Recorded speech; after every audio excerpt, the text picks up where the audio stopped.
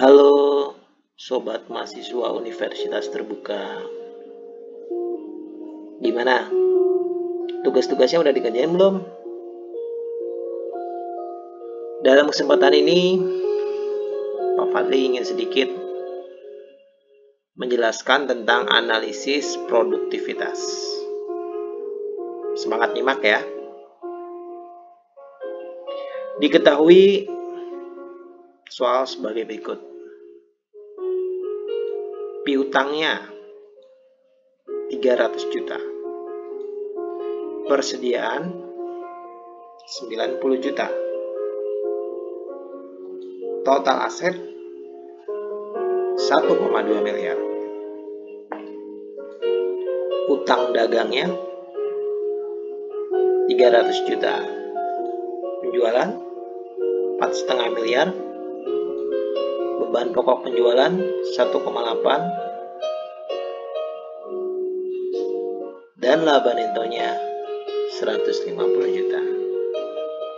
Nah sekarang ditanya berapa perputaran piutang perusahaan dalam waktu satu tahun?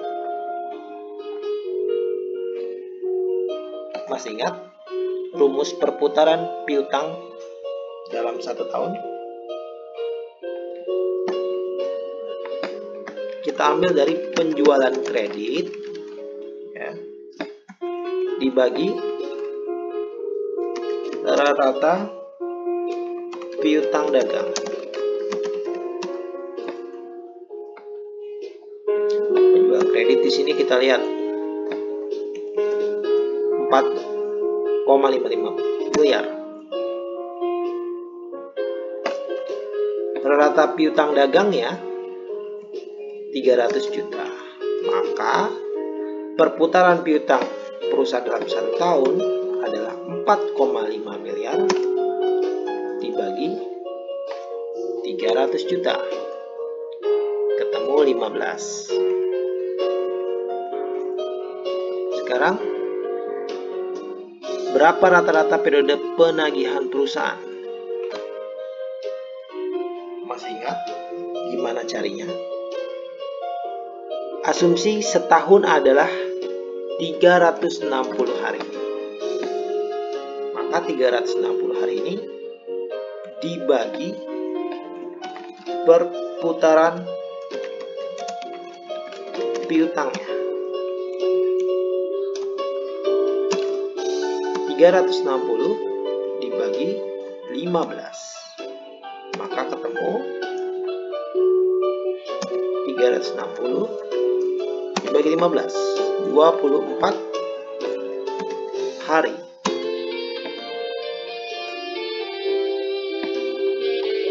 Kalau perputaran persediaannya masih ingat rumusnya.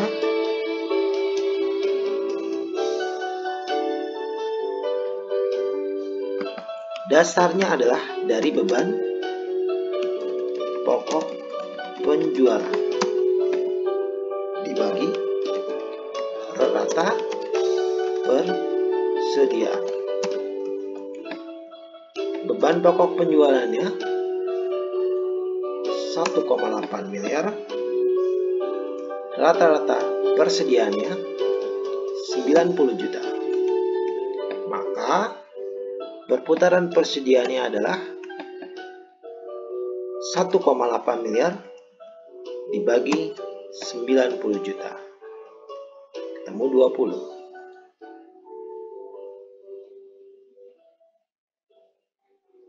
Sekarang rata-rata periode pemrosesan persediaan. Masih ingat gak rumusnya gimana?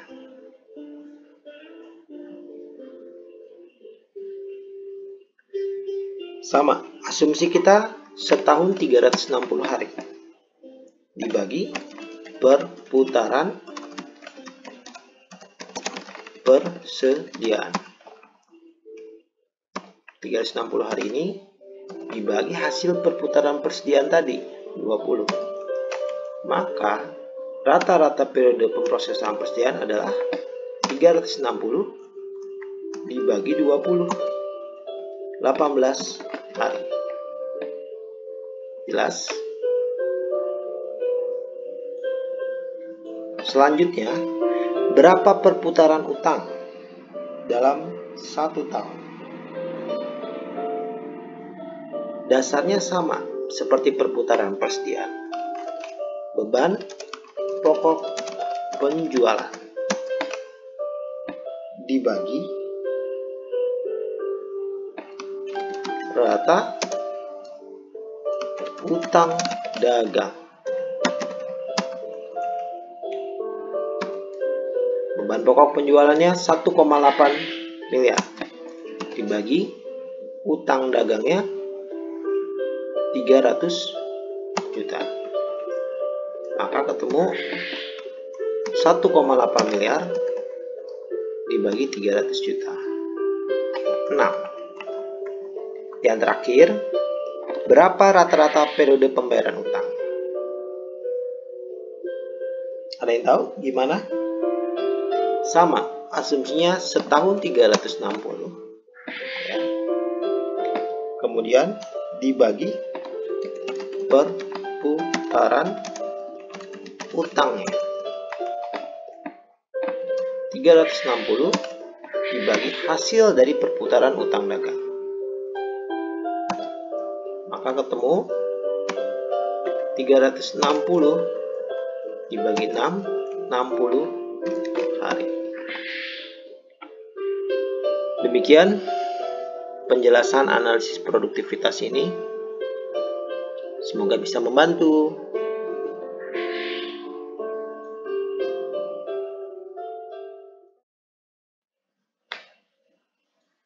Halo sobat mahasiswa Universitas Terbuka. Kali ini Pak Fadi ingin membahas tentang estimasi arus kas. Misalkan ada soal seperti ini. PT Mauta Rugi mempunyai sebuah pabrik dengan data laporan sebagai berikut. Pertanyaannya, berapakah net cash flow PT tak mau rugi? NCF bisa kita peroleh dari EBIT dikali 1 minus tax ditambah depresiasi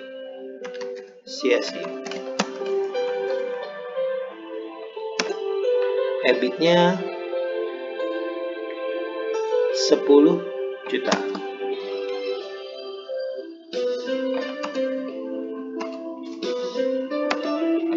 Dikali 1 minus pajaknya 20% ditambah depresiasinya 2 juta. Maka NCF kita peroleh dari EBIT dikali 0,8 ditambah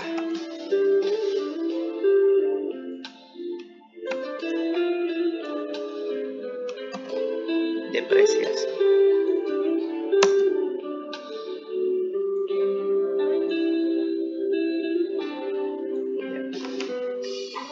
Hasilnya ketemu 10 juta. Demikian cara menghitungnya. CF. Gampang kan? Halo sobat mahasiswa Universitas Terbuka. Bagaimana kabarnya? Kali ini Pak Fadli ingin menjelaskan tentang metode penilaian usulan investasi. Penilaian usulan investasi merupakan bagian dari penganggaran modal atau capital budgeting. Intinya, kita akan membuat keputusan yang akan memaksimalkan nilai perusahaan. Terdapat tiga metode untuk menilai kelayakan dari suatu usulan proyek investasi. Yang pertama, payback period. Yang kedua, net present value. Yang ketiga, internal rate of return. Contoh kasus. Perhatikan arus kas dari tiga proyek yang bersifat mutual eksklusif berikut ini. Di mana investasi awalnya 2000 rupiah. Proyek A dengan arus kas seperti ini. Proyek B dengan arus kas seperti ini dan proyek C dengan arus kas seperti ini pula. Present value interest factor dengan asumsi biaya modal yaitu tingkat keuntungan minimum yang dipersyaratkan dari proyek tersebut adalah sama 12%. Hal ini karena ketiga proyek ini dianggap memiliki resiko yang sama. Sekarang, kita tentukan kelayakan dari suatu proyek investasi ini. Dengan metode payback period. Ingat nggak payback period itu apa? Payback period adalah periode yang digunakan untuk menutup kembali seluruh investasi awal yang dikeluarkan dengan menggunakan arus kas masuk yang diperoleh dari proyek tersebut. Kita lihat proyek A. Dengan investasi awal Rp2.000, pada tahun keberapa dia berhasil menutup investasi awalnya? Hat. Total arus kas masuk tahun ketiga berjumlah 2000 maka tertutuplah investasi awalnya. Maka bisa dikatakan proyek A payback periodnya adalah 3 tahun. Sekarang proyek B. Berapa? Ternyata cukup 2 tahun saja sudah payback period. Proyek C sampai 4 tahun baru bisa payback period. Maka dari hasil ini dapat kita simpulkan karena ketiga proyek tersebut adalah bersifat mutually eksklusif yang dipilih adalah proyek yang memiliki payback period paling rendah, paling pendek, yaitu proyek B. 2 tahun. Metode payback period ini memiliki kelemahan. Di antaranya, satu, tidak mempertimbangkan semua cash flow. Contoh, proyek B Cuman cash flow tahun pertama dan kedua aja yang kita lihat. Karena sudah menutup investasi awal. Akibatnya arus kas negatif yang terjadi pada dua tahun terakhir di proyek B ini diabaikan. Dua, tidak mempertimbangkan konsep nilai waktu uang. Hal ini berarti arus kas yang dihasilkan setiap tahunnya tidak didiskontokan. Padahal arus kas tertentu pada tahun pertama yang nilainya lebih besar dari arus kas yang sama pada tahun berikutnya. Itulah dua kelemahan payback period. Sekarang bagaimana kalau kita menggunakan metode net present value? Lihat, dan ingat, net present value itu apa sih? Net present value adalah metode yang didasarkan pada arus kas yang didiskontokan atau discounted cash flow. Nah, implementasi dari metode ini pertama harus dihitung berapa nilai sekarang dari arus kas masuk bersih yang diharapkan dari suatu proyek investasi. Didiskontokan dengan biaya modalnya. Kemudian dikurangi dengan investasi awal dari proyek tersebut. Ya. Kita kalikan arus kas masuknya dengan present value interest factornya.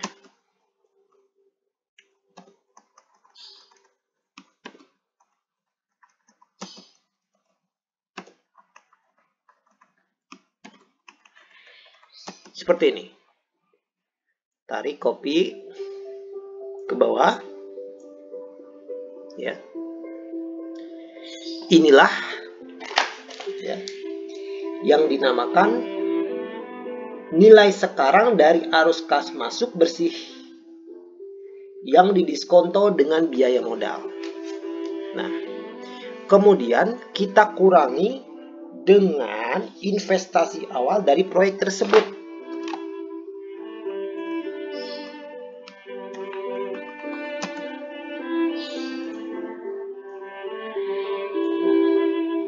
Sorry.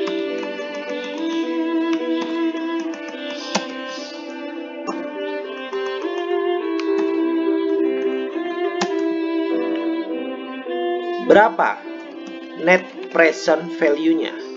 Kita cari netnya.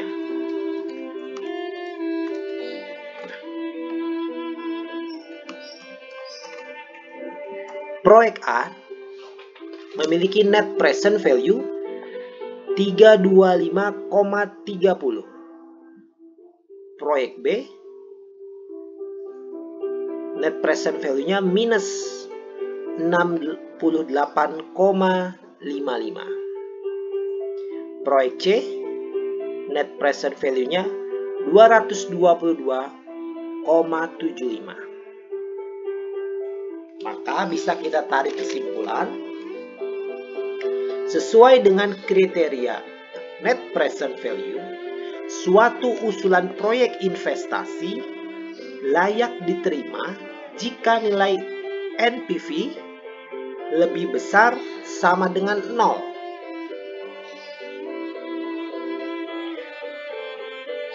Apabila NPV kurang dari 0, maka usulan proyek investasi tersebut tidak layak dilaksanakan. Ya. Jadi pilihannya A dan B yang layak dilaksanakan. Namun, karena kasus ini mutual eksklusif, ya, maka proyek yang dipilih adalah proyek yang memiliki NPV paling besar, yaitu proyek A. Apabila ketiga proyek ini bersifat independen, maka proyek A dan C bisa dilaksanakan. Kita lanjut metode yang ketiga, internal rate of return. Apa itu internal rate of return? IRR merupakan tingkat diskonto atau discount rate yang menghasilkan NPV sama dengan 0. Jadi kita menghitung dengan cara coba-coba, trial and error. Jika arus kas tiap tahunnya tidak sama. Saya coba proyek C.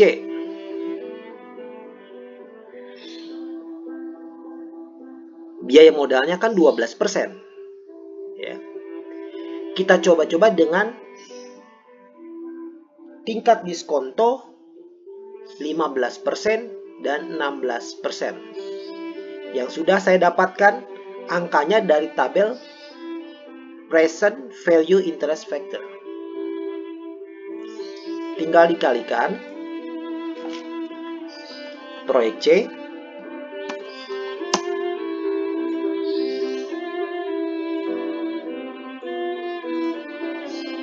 Yang satunya lagi tinggal dikalikan dengan yang 16%. Kita coba-coba. Mana yang hasilnya paling mendekati 0? Hasil dengan tingkat diskonto 16% paling mendekati 0. Sehingga dapat dianggap bahwa IRR-nya adalah mendekati 16%.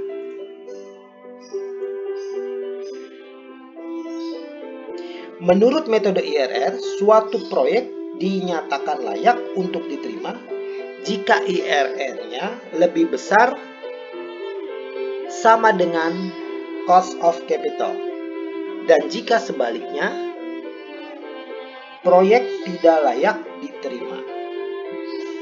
Jika biaya modalnya tadi 12%, berarti proyek C yang memiliki RR sebesar 16% layak dilaksanakan.